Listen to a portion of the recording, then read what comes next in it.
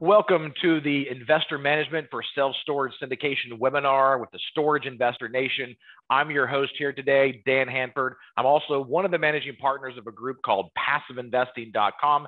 You can go to the website here and check out uh, the information that we have available. Uh, you can see our team button up here. You can click on Meet the Team and go there. And when you go to the Meet the Team section, uh, you can find out more information about all of our team members. And if you want to find out more information about me as well, you can go there too. Um, I won't spend too much time going over uh, all of my information in the background because uh, it just might take a little bit of time. But I will certainly let you do that on your own time. And for some reason, it's kind of crawling here, trying to go to the Meet the Team page. Uh, oh, there it is. All right. So here's our team here. You can click on my picture here, which is that top left one. And when you click on that picture there, there's a video that I did about my background. Uh, you can see there, I'm, I'm married with my wife to my wife Danae, and then we also have three, uh, excuse me, four children, three girls and a boy, and uh, we reside and work and live here in Columbia, South Carolina. So uh, go there, find out more information about me. You can also, if you want to find out some of the current offerings we have available, uh, we do have a couple of funds available. We have a self-storage fund, which is obviously what this topic is today, where we acquire uh, you know, institutional quality self-storage assets and put them in our fund there. Uh, we have a $50 million fund that we've launched uh, this year that is going to be acquiring about 150 to 200 million worth of assets. So you can go there and check that out. We also have our real estate debt fund uh, which provides some op options for you to be able to invest in a short-term fund where you can get your money back out within within 90 days if you chose choose to, but you still get a nice uh, decent return on that too. And of course, we have some multifamily offerings here as well. If you want to check those out, Ascend Waterly and Blue Water at Bolton's Landing. Um, and then if, if you want to join us on one of our future offerings, you can click on this little blue button, join the Passive Investor Club. When you click on that button, you can fill out the form, and one of our team members will reach out to you, discuss your investment goals, and see if you're a right fit for our group. So you can certainly go over there and, and do that at any point in time as well. Uh, one thing I wanted to mention to you is about the Storage Investor Nation Summit. You can go to storagesummit.com and find out more information about this event. It's an, uh, it's an online virtual event where we have live speakers coming in. Nothing is pre-recorded on October 7th, 8th, and 9th. And, uh, and if you're watching this after that date, then you can always you can still go to storagesummit.com to learn about the next event that we have coming up as well. We do these twice a year. So make sure you go there and check that out. You can also go down to the page and see the actual lineup of the speakers that we have and also the list of the topics at the bottom. Last thing I wanted to mention to you is about an event, a live in-person event that I have actually never done before, and I don't even know if I'll ever do it again. Uh, it depends on, on how this one goes, but um, this is a, a workshop that is called the, a capital raising workshop. There's going to be um, uh, multifamily syndicators there. There's going to be self-storage syndicators. There's going to be medical office building people. There's going to be people from all walks of, of, of, real estate that are looking to learn how to raise capital effectively and efficiently. And this is going to be a live in-person event right here in Columbia, South Carolina. It's going to be. It's only about just over two weeks away. Uh, it's going to be called. Uh, we call this. This is actually called the Capital Raising Workshop. To be located here. It's only available for 30 people. So once we hit the 30 mark, we're going to stop um, uh, stop the landing page and, and cap it. Um, so you won't be able to register. But if you want to hang out with me and our team here at PassiveInvesting.com to learn how we've been able to raise hundreds of millions of dollars in the last few years, we'd love to have you there. You can see there that the early bird ticket uh, we only we are we are only selling uh, uh, VIP tickets, right? Because this is going to be one where you'll have uh, an actual uh, workbook that you'll walk away from. We're going to have a VIP networking party at my airplane hangar. So we we are we're in the process of putting all that together, which is going to be really fun. Um, we have live music, uh, uh, uh, chefs coming in to, to serve us, and it's going to be a lot of fun on Thursday night. And then uh, this is, and again, this is not an event that's going to be open up to, to hundreds of people, right? This is a very exclusive uh, 30 person event. And to give you an idea as to uh, the amount of capital that our group has been able to raise um, since 2018. In 2018, we raised $4 million. The next year, we scaled and went to $32 million. And the next year after that, we scaled and went up to about 60, 61 million, which was just last year. And year to date, this year in 2021, we've already raised over $102 million for the assets that we're acquiring this year. And we're going to continue to raise more and uh, we'll be uh, a lot higher than that uh, at by the end of the year. So 2021 will be a great banner year for us, uh, which has been great because each year has been a banner year. And we think that's going to be the max. We just keep on being able to expand past that. So if you want to understand and learn how we have done things this is what I would recommend for you to do. Go to this event. Um, it's going to be here in Columbia, South Carolina. There's some great hotels around. Um, we're going to have a lot of time of networking and food and fun, and uh, it'll be a lot of fun as well. Okay.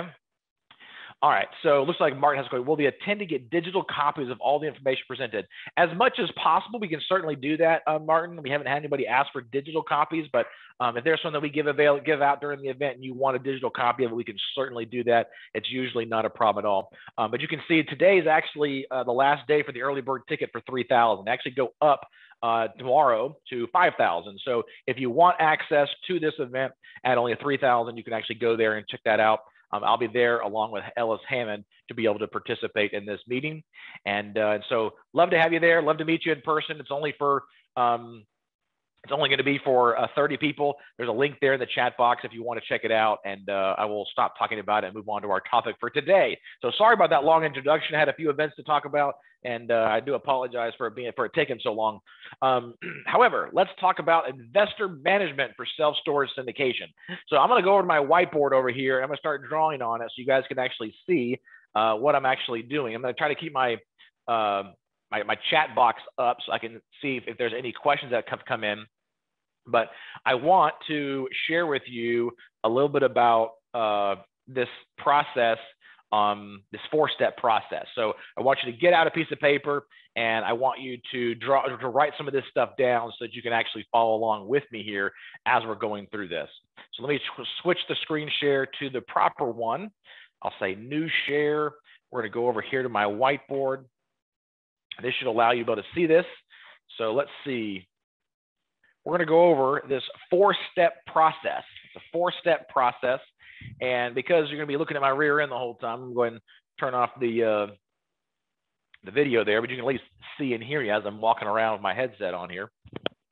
So I want you to go out, I'll get on, on your piece of paper and Oh, that's actually a little bit too thick. Let me just clear this off just real quick here.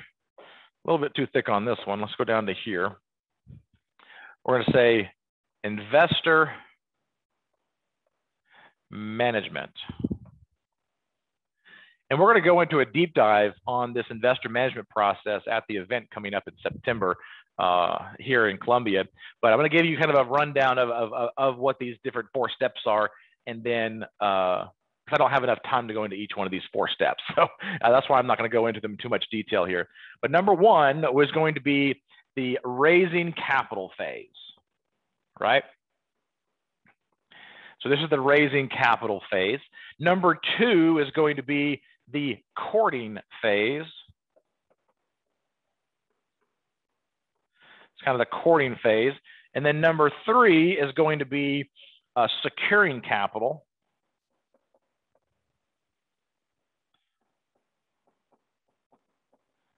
Okay. And then number four is going to be uh, what we call our ongoing communications.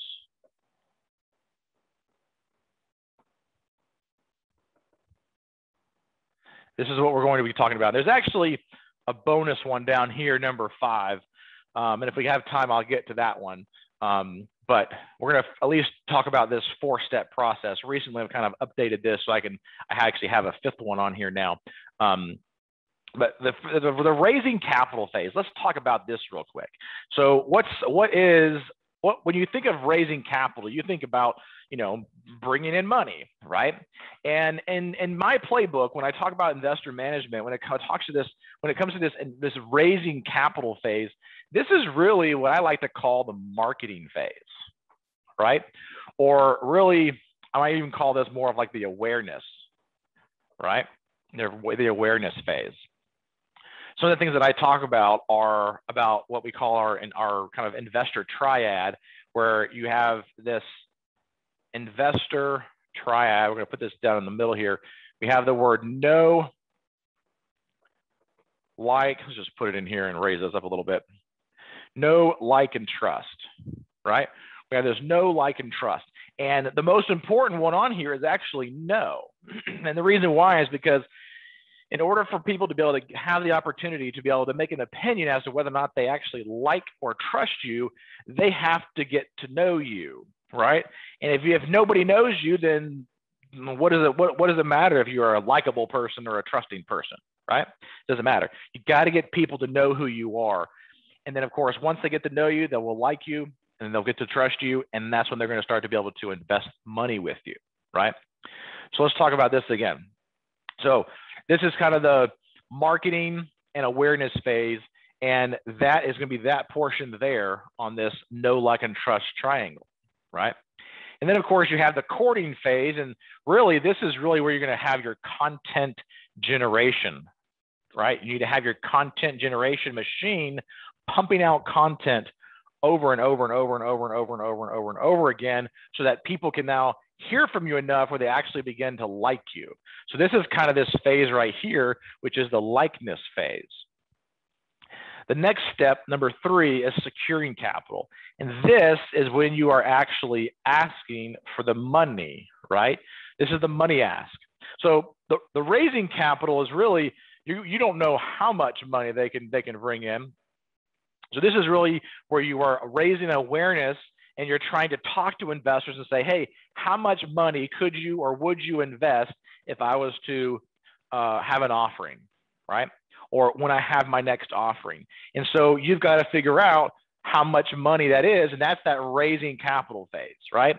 Um, and securing capital phase, I guess you could call that the capital call phase, right? I mean, that's really when you're going to say, hey, you told me you could bring in $100,000 to my next deal. Boom, here's the next deal.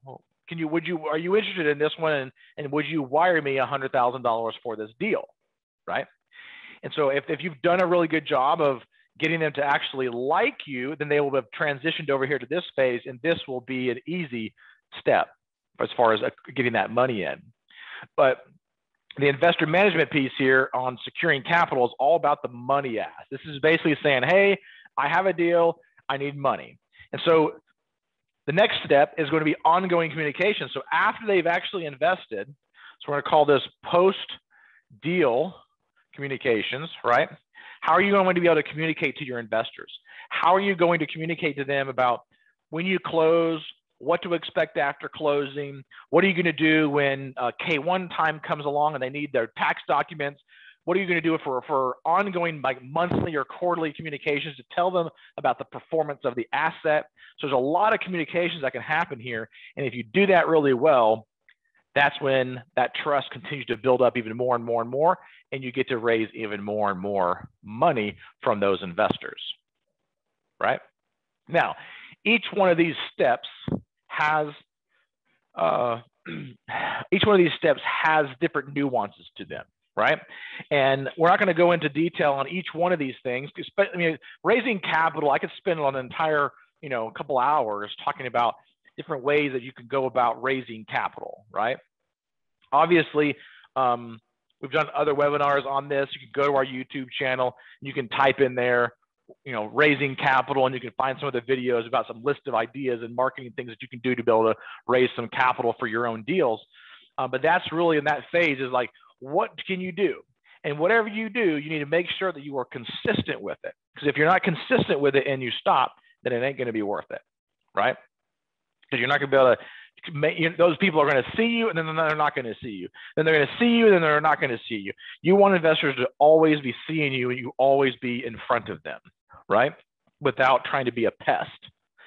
So those, those are the four uh, steps uh, for the investor management process. And in the courting phase, this again is where you have your content generation machine, whether you're putting out podcast episodes, uh, whether you're being a guest on a podcast or you're, you are your own guest, or whether you're writing blog articles or you know Forbes business articles or Forbes Real Estate Council articles, or you're you are uh, uh, you know you got a newsletter or something like that that you're sending out to your investors, some sort of way to stay in front of your investors because I see so many people that get to this point right here where they say, okay, I'm going to spend a lot of time and energy and effort raising capital, right? Where they're actually building this awareness so that people are getting to know them, right? Well, guess what? A lot of times what happens is they get to know them and then they don't do this next step right here. They don't do the courting phase. So they get to know them, but then they never hear from them ever again. How many of you have ever been to an event, you were introduced to somebody, and then you never heard from them again, right?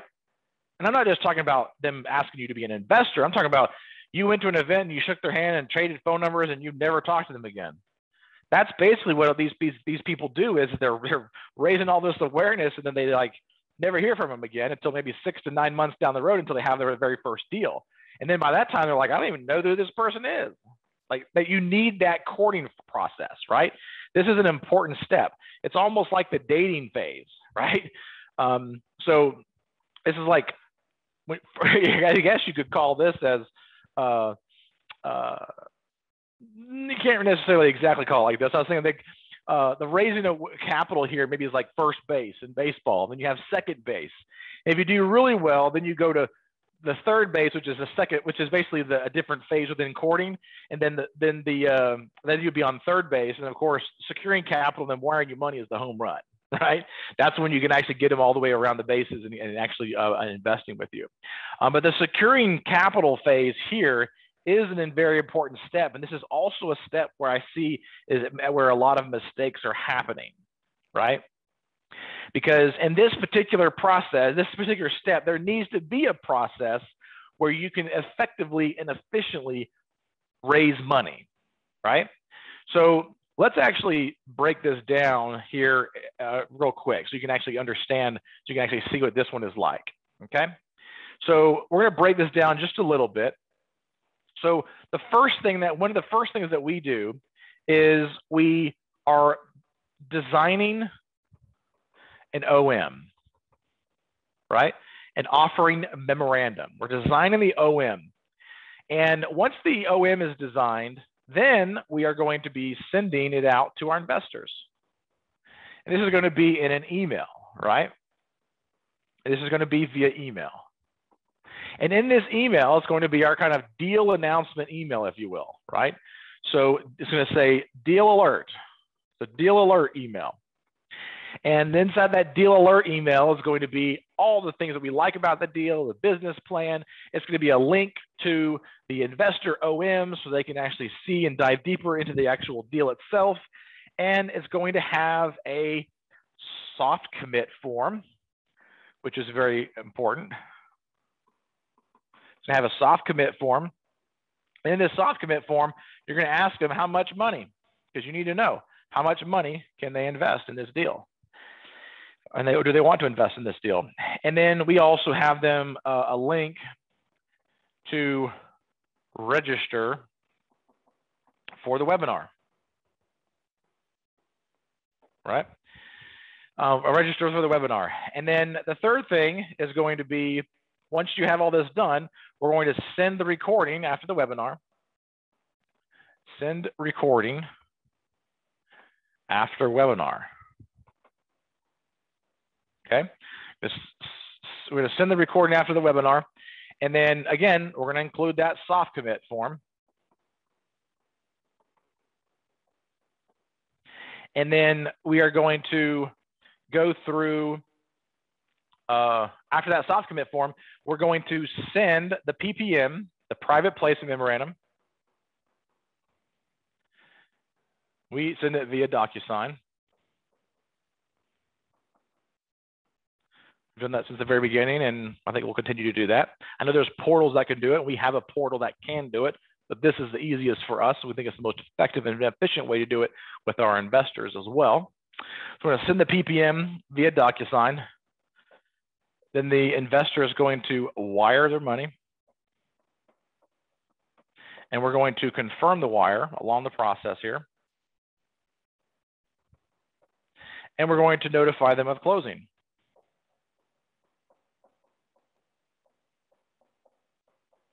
All of this information is important. And again, you can see that this is actually a process, right? This is this is not just you know I've seen people seen seen groups you know before where I call them up two weeks before they're about to close on their on, on a deal and they're like and I say you know they're trying to raise you know four million dollars. I'm like hey so where are you on the raise process? Oh we got it all we got it all raised. It's all good. And I said it's all good. Okay so all the money's in the bank. No, no, no, no, no, no. It's all the money is not in the bank. We've talked to our investors and they've all given us you know, you know, commitments that they're going to invest. And I'm like, so you mean you have verbal commitments, but no money wired into the account yet? Right, right, right. That's right. We, we, we, we've talked to all the investors and they're good. And I was like, pause, hold on just a minute. You're, you're doing this all wrong, right? You need to have a process like this put into place to guide your investors through which steps to take to actually fulfill their commitment to you. You can't just get verbal commitments, right? You've got to follow it up with some sort of process. And there's additional things in between each one of these processes. Look at that. I even numbered them wrong. One, two, three, four, four, five. Sorry about that. I'm running a little bit too fast is what I'm doing. And, uh, and I haven't necessarily eaten lunch yet. So I was actually in the process of eating lunch and uh, realized I had to jump onto this. So apologize for that. That's actually number five and number six. I promise you I do know how to count. Um, but we have these these six steps. And there's different nuances inside each one of these things. Like, I'll give you a quick example. Like right here, we, t- right here we talked about sending the PPM via DocuSign. Well, who do you think is going to do the PPM? Right? This is going to be the attorney, but which one? You got to have your securities attorney in place, right? And so, at what step in the process are you going to do this? Well, this is actually supposed to be happening at the same time that you're designing the OM. You got to have that being done as well right? And then, of course, this is just for investor relations, but you also have other things that are happening along the way where you have your real estate transactional attorney. They're actually working on the closing of the deal itself. You also have your lender that you got to make sure that you're engaging with and you're getting your documents to. Um, you have all of your inspections that have to be happening along the same time. You can see that there's a lot of things that are happening behind the scenes at the same time, which is why it's great to have a team that supports you and partners.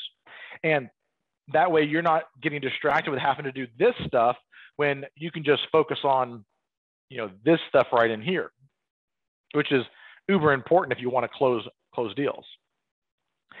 We were on a phone call recently on a deal that we're looking to buy, and we're in we were in the we are still in the best and final round, and the seller keeps on asking us, how do you raise your money? And of course, we're telling them about our track record, how we've raised over $102 million just this year alone. We've our two most recent deals that we've closed are really large deals. One's a $91.6 million deal. We raised 32 million for that one. We're actually right now closing another one, which we've raised $27.8 million for that one. It's a, like a 80, think it's like an $86 million deal, something like that. Um, and of course, this deal we're looking at, you know, pretty big. It's about, you know, 78, 78 to 80 million dollar deal. Um, we're gonna have to raise probably close to, you know, 23 to 24 million dollars for. And they want to, they're confused. They're like, how do you raise this much money from just retail private investors? And we're like, well, if we told you all of that, then you would be doing what we're doing. right? Um, but we did. We told them, like, listen, this, this is how we do it. We have private investors that we actually are raising capital from. We don't accept any institutional money right now at all. Um, our average investor is putting in $137,000. If you average it out from the last four years, the $137,000 is the average investment. And they're still confused. They're like, we have a hard time from institutional investors trying to get that kind of money. How are you able to do that from just private retail investors, right? And honestly, it, it, I'm surprised with it every day myself about how much money we're actually able to raise and put to work for our investors. Because at the end of the day, we're, we're, we're creating uh, you know, what we call legacy wealth for our investors right? This legacy wealth where we're going to be building wealth for their family and our families for, for multiple generations because of the things that, because of the actions that we're taking right now. And these institutional people are confused. They're like, how are you buying these deals, right? Because we're, we're bidding on these deals next to these, these, these, these publicly traded REITs and hedge funds and family offices and all these, inst- all this institutional money, and we're getting these deals. And they're trying to figure out how, how we do this, right? Um, and there's some strategies that we use to be able to, you know, stand out from, you know, an institutional player or something like that. But again, that's not the topic of, of this this particular uh, section here. But hopefully, expounding upon that just a little bit on the securing capital phase is what, what is good for you. And then, of course, you have this ongoing communication phase here as well, which is making sure that you have great communication with your investors. We actually get a lot of uh, investors that have invested with other groups and they've decided not to invest with those other groups again. And the number one reason why they don't want to invest with them is because of poor communication. If you have poor communication with your investors, it's not going to be good, right? They don't want to invest with somebody that they can't get a hold of right away and get answers to, right? They want to be able to call somebody or shoot over an email or send a text message and get a response right away. If it takes you days or weeks or months to respond to an investor, that's not good. You've got to have a, a process in place where you have great communications with your investors, but also trying to preempt communications with your investors, where instead of them having to reach out to you for questions, you are answering their questions before they even ask them, right? And that's an, that's an important step in the process as well. All right, well, let me go ahead and open it up for some questions and answers here. I know I've talked for about 20, 25 minutes or so.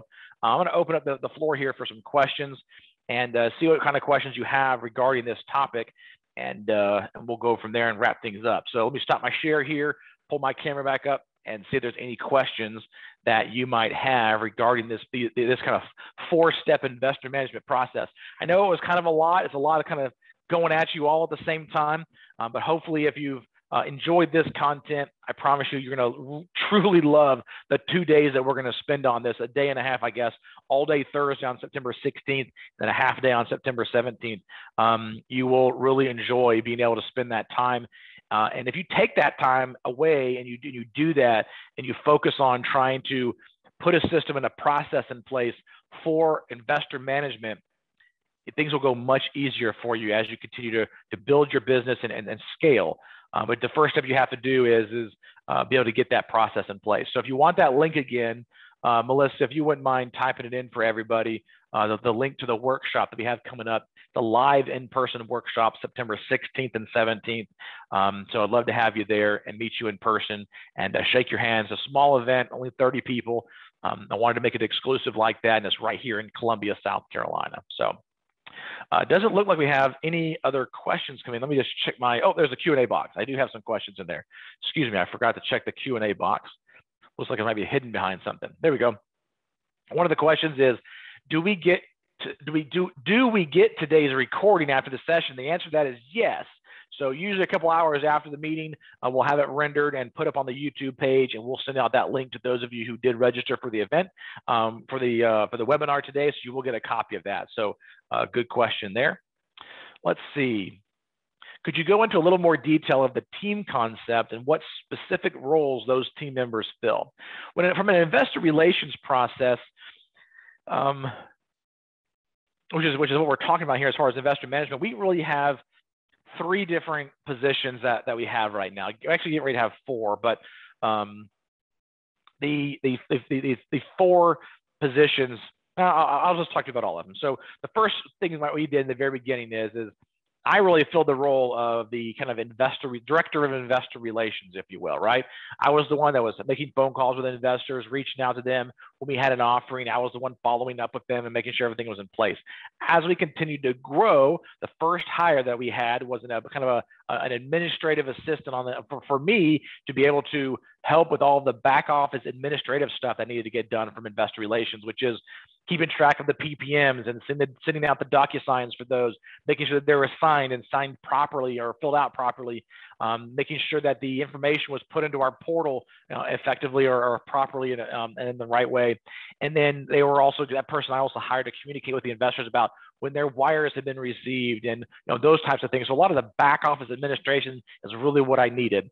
And then the next person that I hired was our director, actually, excuse me, was our um, yeah, was our, our, our, director of marketing and public relations, which she's actually on the webinar today in the background doing some admin stuff for me as well, um, Melissa. So she actually is doing a lot of the design work and the coordination of the marketing. And uh, when we do the investor OMs, that's under her purview. She, she works with us very closely to do those investor OMs. Um, and right now, all these people are full-time with us. In the very beginning, did we have full-time people? No, right? It was just me and our two other partners, and they had different roles and responsibilities outside of investor management.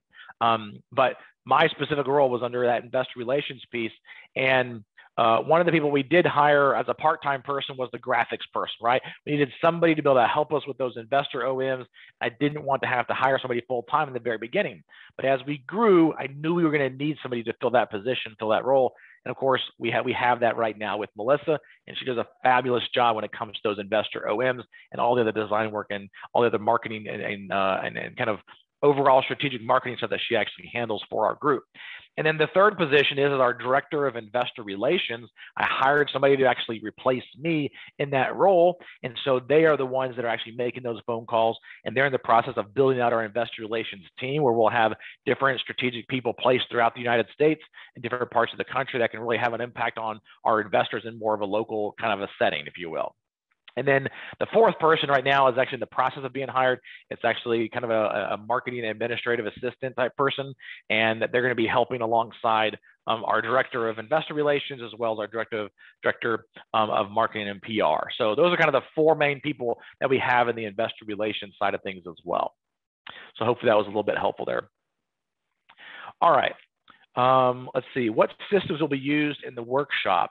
Um, and in future for us to use to manage investor relations. So um, I guess the best way, Hussein, for me to answer this question for you is, is that at the workshop, we are going to be uh, walking through all of the steps that we have taken here at passiveinvesting.com to get to where we are today. And we started this thing back in 2018, went from $4 million in 2018 to $32 million in 2019. Uh, 2020, we did uh, just over 60 million. And this year already to date, we're over 102 million, which is really, really cool and really, really exciting to be able to say that. Um, but I, I share that with you because we're each year we had to do different things, right? We had to start somewhere. So when we first got started, that first year we only raised four million dollars, right? And as we continued to grow, we had to change our systems and processes. I'm going to share with you at that event at that workshop all the different things that we did year over year and how we got to where we are today and how you can kind of duplicate that same system and do it. And my goal for you when you leave that workshop is that you actually have a written out plan for your inv- specific investor relations process that you can implement the, the, the, on Monday when you get back, right? Shoot, you could do it Friday afternoon because we're this is going to be a all day Thursday and then a half day on Friday. So Friday afternoon, you can start putting that system in place to be able to raise the money. And so we're going to be teaching you all those different systems and procedures and processes. And and the other cool thing about being at that workshop is there going to be other high level people just like you that were willing to pay the money to play in the game to learn about investor management on a high level from a high performing team and guess what? Now you can network with other people that are like you. So you can actually maybe partner with some people to be able to exponentially increase your ability to raise more capital for your future deal. Or maybe you'll be able to partner with them and raise capital for some of their deals right? So there's so many different opportunities here, and that's one of the reasons why we're, we're spending some spending a good amount of money on this investor um, uh, kind of party on Thursday night at the airplane hangar, where you'll be able to hang out with everybody from I think that the events that, that evening events to be from like seven to ten or eleven o'clock at night, where you'll be able to have a lot of fun, network. We're going to have a DJ there. We're going to have lots of fun there. Um, and I want, and, I, and, that's one of the things I wanted that to be is it's something that where we can just, just let loose a little bit and enjoy each other and really start to create some connections and deep relationships at an event like that. All right. Um, let's see. I have a question about the storage summit. What tools offered are offered with the $100 toolkit add-on? That's a great question, and I don't have the answer for you right here in front of me. Um, but I will have, uh, if you actually will email um, us, uh, you can actually go to, you can email Melissa, Melissa at passiveinvesting.com, and she can fill you in on some of that information so you know what's actually included in that um, and, uh, that way she can share that with you. So, um, all right. So I don't see any other questions coming in. I want to thank you so much for being here. Looking forward to meeting you at the event coming up in September, and uh, also look forward to meeting you at the next webinar that we do as well. And also, don't forget to go register for the Storage Summit. Go to storagesummit.com, and we look forward to seeing you there. Hopefully, this was helpful for you and insightful. And uh, we'll actually see you back next week. Let me actually see what next week's webinar is going to be all about. Here it is. It's actually going to be, let me share the screen here if I can. There we go. It's going to be on how to get real estate taxes right for self-storage investing. So make sure that you go here and you check it out. Um, you can go to storageinvestornation.com to check out the next webinar that we are going to be doing. And uh, you can go ahead and register for that. That's going to be next Tuesday, September, excuse me, September 7th at 12 p.m. Eastern. Looks like the timer hasn't been updated just yet, just yet, but um, that'll be next week on September 7th at uh, uh, 12 p.m. Eastern. So uh, make sure that you're, you're, you go for that. And also don't forget to go to the web, to go to the podcast. So you can go to the storageinvestornation.com, um, click on the storage podcast link here. You can actually hear myself and Kris interviewing successful self storage real estate investors as we dive deep into the details on how they got their deal to finish and, and to the closing line and even after closing details too. So make sure you go to iTunes and you download that podcast. It'll be very insightful for you, especially as you're getting started. So thank you so much. And I look forward to seeing you back in the next webinar.